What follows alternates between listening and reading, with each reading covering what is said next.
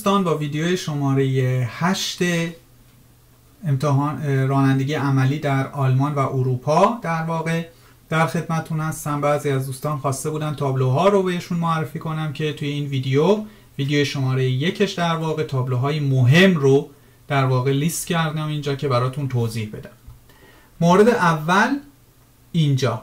راستی بچه ها من هیچ مسئولیتی در مورد غلطی یا درست بودن 100 درصده. من تمام تلاشم می‌کنم درست باشه ولی مسئولیتی در مورد این ویدیو مخصوصا بر عهده نمی‌گیرم. اگر چیزی اشتباه بود لطفا این فقط به مربیتون توجه کنید که چی میگه. این فقط مسئله قانونی رو من دارم از دوش خودم برمیدارم. ولی تا اونجایی که بتونم سعی می‌کنم همه چیز 100 درصد درست بهتون بگم. خب این ویدیو بچه ها ببینین اولین چیزی که هست اینه که این وقتی که قرمزه به بالا هست قشنگ اینجوری مثلث داره میگه که احتیاط کن. اینجا داره میگه احتیاط کن و آبر پیاده هست. جاهایی که معمولا مدرسه هست مهد کودک هست یا تردد به هر حال زیاد هست این تابلو رو می‌بینید. معمولا هم با دقایسی زونه یه جورایی فبوند میشه. یعنی جاهایی که دقایسی زونه هست این تابلو 100 درصد تقریبا وجود داره که باید احتیاط آبر پیاده ها رو بیشتر بکنیم حالا سوال پیش میاد که فرقش با این چیه؟ ببینین این آبیا بچه هر جایی که آبی دیدین داره میگه که موس. دست باید اینجور باشه. احتیاطی در کار نیست. این چرا قرمز میمونه؟ باید وایسی وقتی که آبیا رو می‌بینید وقتی که آبی باشه اصلا 4 5 تا هست تو ویدیو شماره یکی یا دو من قشنگ اینو توضیح دادم. می‌تونید تو ویدیوها ببینید. وقتی که آبی هست 4 5 تا هست. خیلی باید احتیاط کنید. چون وقتی که تابلو آبی هست فنی که چراغ سبز یا قرمزی برای آبر پیاده نیست و مخصوصا آلمانی ها دیگه نگاه به چپ و راست نمی‌کنن. میان تو خیابون چون توقع ندارن ماشینی اشتباه کنه و نبینتشون. میان توی خیابون. پس اگر این تابلوهای آبی رو دیدین که معمولا میگم سه چهار تا هم هست حواستون رو خیلی جمع کنین که شاید لازم باشه ترمز کامل بگیرین حتی. بعدی. بعدی موس چیه؟ یعنی آبیا. دوباره. شما اجازه ندارین جاهایی که این تابلوها هست با ماشین برین. جاهایی که پیاده رو فقط هست. جاهایی که فقط جاهای دوچرخه هست و پیاده رو هست. معمولا خیلی مشخصه. تو پیاده رو که مثلا آدم رانندگی نمی‌کنه مثلا کفش مشخصه که اونجا جای ماشین رفتن نیست. و معمولا خیلی مشخصه که اونجا اصلا نمیشه رانندگی کرد. خیلی باریک آسفالت نیست و فلان و اینا. ولی یه جایی هست که باید حواستون جمع کنید معمولا این تابلو هست و خیلی هم بزرگه. قشنگ یه متر در یک متر هست. بچه آبی دیدین حواستون خیلی جمع بکنید. یه موسی در کار هست. اوکی؟ پس یه جایی هست مثلا تو دوسلدورف مربیان برای تمرین می‌برن و پروفرا هم اونجا می‌برن امتحان بگیرن. بهت میگه مستقیم برو ولی شما باید بپرسی بگی که مثلا hier darf ich nicht fahren rechts oder links jetzt ولی اونجایی که تو امتحان هست برای دوسلدورف فقط اجازه داری links بری. یعنی یه مستقیم یا می‌تونی بری یا می‌تونی links بری دیگه نمی‌خواد از ریارو هم بپرسی. راهنما می‌زنی میری چپ. اوکی؟ ولی این تابلو اگر دیدین یعنی اینکه اینجا کسی اجازه نداره بره. اینجا فقط ماشین پلیس و آمبولانس اجازه داره بره که حتی زیرش بعض جاها نمی‌نویسن. چون مشخصه. ماشین پلیس و آمبولانس اجازه داره هر جایی بره. تابلو مهم بعدی این مثلث رو به پایینه. خیلی مهمه. بچه ها یه جاهایی از توی فرعی ها که دارین میان بیرون این تابلو مخصوصا از تو فرعی که دارین میان این تابلو وجود داره. یه جاهایی حتی مثلا از توی پیچ دارین میان توی خیابون اصلی این تابلو همیشه وجود داره.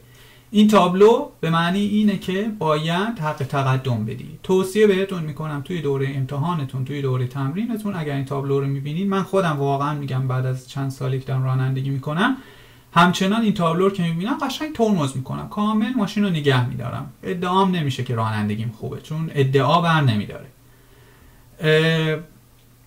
اگر این تابلو رو دیدین یعنی باید خط تقدم رو بدین. یعنی اون شخصی که داره میاد حق تقدم داره نه تو. باید وایسی قشنگ دقت کنی نگاه کنی ماشین نباشه بعد بری.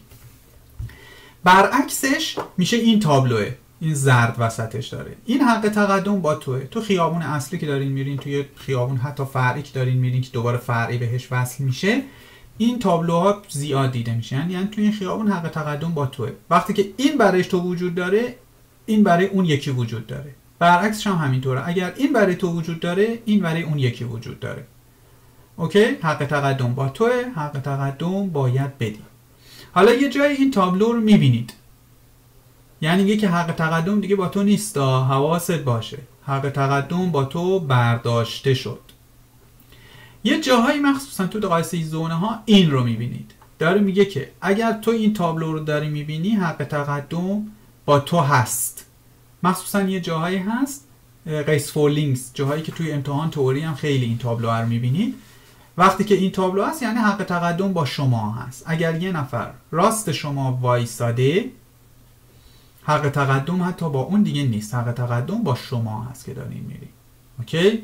حق تقدم با منه. این تقریبا مثل اینه ولی این معمولا توی دقایسی زونه ها دیده میشه. کجا معمولا؟ چرا تو دقایسی زونه ها اینو نذاشتن؟ خودشون راحت نکردن. ببینید این داره نشون که یه خیابون اصلیه که من توشم این فرعیه هم وجود داره. ولی این مال منه. ولی بچه ها در کل میگه یه احتیاطی لطفا بکن.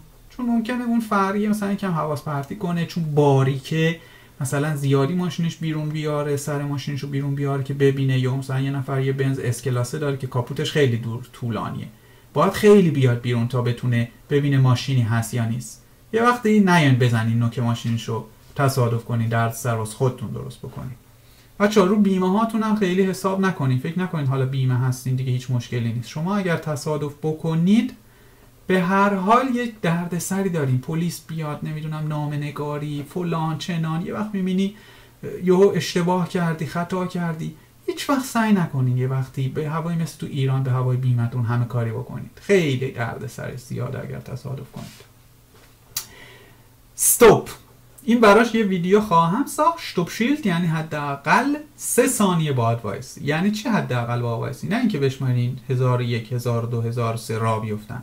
میگه حداقل سه ثانیه وایسا قشنگ نگاه بکن چپ نباشه راست نباشه. بچه یه آمار توی آلمان هست میگن Stoppschild ا کسی که بهش توجه نمی‌کنه من اینو خودم شنیدم که تصادفاتی که منجر به مرگ شدن خیلی هاشون بیتوجهی به Stoppschild بوده. بی دلیل اینا رو نذاشتن. خاطر اینکه شما از فرعی دارین میان توی اصلی اون خیابون اصلی یه 60 تا اجازه داره بیاد. 60 تا که نمیان یه 65 تا میان. 65 تا مستقیم میاد توی بدن شما. اگر اینجا وای نستید و با دقت نگاه نکنید ماشین نباشه. وقتی که اشتوب شیل می‌بینید قشنگ باید وایسین دقت کنین که ماشینا نزدیک بهتون نباشن. شما می‌خواین از خیابون بیان بیرون. اینا رو بچه ها تو ویدیوهای عملی من توضیح دادم ولی خیلی گذرا توضیح دادم. اینجا رو حالا یه تکمیلی توضیح میدیم. می‌تونید دوباره یا اگر ندیدید ویدیوهای عملی رو ببینید تا همشون رو توضیح بدیم اینجا داره میگه که فکرز هلفا یعنی اینجا مدرسه ای چیزی هست. خیلی باید دقت کنید که یه وقتی بچه ای چیزی چون بچه ها یهو از پشت ماشین میپرن تو خیابون.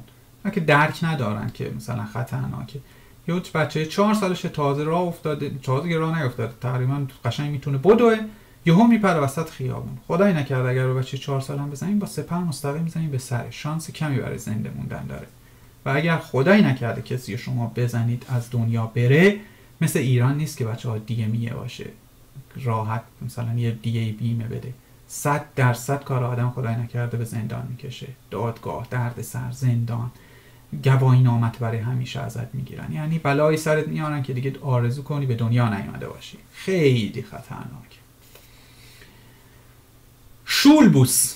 این تابلوها رو توی امتحان تئوری خیلی می‌بینید. شولبوس بچه ها خیلی احتیاط داره. این تابلوه خیلی احتیاط داره. به خاطر اینکه اصلا این بچه هایی که از مدرسه ها تو خیابون دقت بکنین اصلا این بچه مدرسه ای انگار اصلا یادشون میره که ماشین اگر بهشون خورد داغون میشن. همینطوری میپرن وسط خیابون. اگر این شول بوسو دیدین اصلا برین رو کار شرید قشویندیش کنید حالا جاهای مختلف هست که چه کار باید بکنید ولی خیلی دقت توجه باید بکنید تابلو بعدی باوشتله به محضی که این تابلو رو دیدید. اگر توی شهر هستید سرعتتون سی.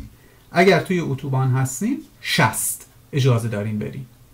توی خیلی از باوشتله ها جایی دارن تعمیر می‌کنن و دوربین گذاشتن. دوربین های سیار گذاشتن. خوبم پول در میارن. قشنگ شکارتون می‌کنن. خدایی نکرده. اگر توی دقای سی زونه جایی که باید سی برین و اینی که توی باوشتل سی رو پنجاه برین جریمش خیلی گرونه. اگر توی پروب سایت باشین که اصلا پوستتون کنده میشه. فکر کنم یه دو هزار تایی خرجتون میشه تا دوباره گواهی نامتون بگیرین. یا سی رو اگر پنجا پنجا پنج برین خیلی خطرناکه. اصلا توصیه نمیشه. تابلو بعدی این هستش. دوباره این موس هست. درسته؟ این داره میگه که از این طرف داره ماشین میاد. این بچه ها خیلی دقیق یادم نمیاد که چه کار باید می‌کردین. چون تابلو هم خیلی کم دیده میشه. ولی اگر اشتباه نکنم که فکر می‌کنم درست میگم اینه که میگه که حق تقدم با تو هست ولی یه ماشین داره از اون ور میاد. این خیابونه در واقع دو طرفه هست. یه جاهایی می‌بینی خیابونه باریکه ولی آره مطمئنم الان دارم درست میگم. یه جاهایی می‌بینی خیابونه باریکه و آدم احساس می‌کنه که یه طرفه هست. ولی این تابلوها رو می‌ذارن که بگی خیابونه دو طرفه هست. احتیاط کن از اون طرف هم داره ماشین میاد. یه جایی اگر دیدین خیابون خیلی باریک ماریک و اینا هست و اینا می‌تونین دو کار کنین. یکی اینکه این تابلوها رو ببینید که هست یا نیست یا اینکه ببینید ماشینایی از که روشون به شما هست این بر پارک کردن یا نه. اوکی؟ یا اینکه قشنگ عمق رو نگاه کنید یا قشنگ خودتون رو بکشونید. راست اگر مطمئن نیستید. یا وسط خیابون رانندگی نکنید. تو دوسلدورف هم که جاهایی که امتحان می‌گیرن یه خیابون هست. دقیقا همچین حال و فازی داره. که آدم فکر کنه انقدر که باریکی فکر کنه یه طرف است ولی نیست.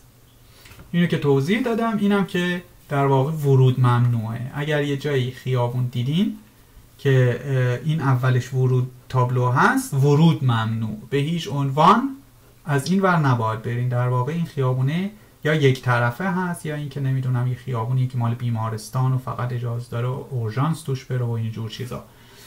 یا اتوبوس فقط اجازه داره توش بره. فقط اگر این تابلو رو دیدین ردشین برین. اصلا نمی‌خواد برین داخلش. توی امتحانات عملی ممکنه پروفر یه جایی ببرتت بهت هیچی نگه. همینطور داری مستقیم میری. به محضی که این تابلو رو دیدی باید که مثلا دیگه اجازه نداری مستقیم بری باید ازش بپرسی. چپ برم راست برم چه کار بکنم؟ یا اگر فقط می‌تونی چپ بری بهش بگو که من فقط می‌تونم چپ برم یا اگر هم نگفتی مهم نیست راهنمای چپ رو می‌زنی میری. و اگر ببینیم مثلا این کار کردیم دیگه خیلی هم سخت نمی‌گیره بهتون. چیزها رو سعی کنن پروفراتون امتحانا ببینن چقدر حواسه جمع تابلوها هست. خب بچه ها ویدیوی کم طولانی شد الان 13 دقیقه شد. امیدوارم ویدیو به دردتون بخوره. تا ویدیوی بعد خداحافظ.